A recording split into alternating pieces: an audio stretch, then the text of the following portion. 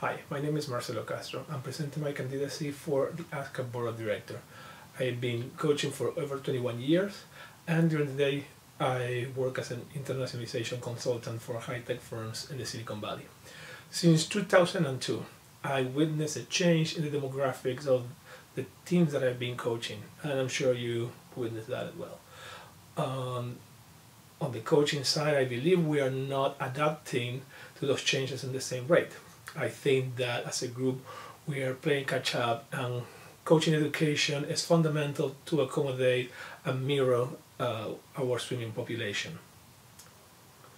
As a board member, I would like to be part of those changes. I think that ASCA can help reach out even more diverse population, where swimmers can see themselves in their coaches, which eventually will increase the athlete participation, competition, and closing the circle, increase coaching membership.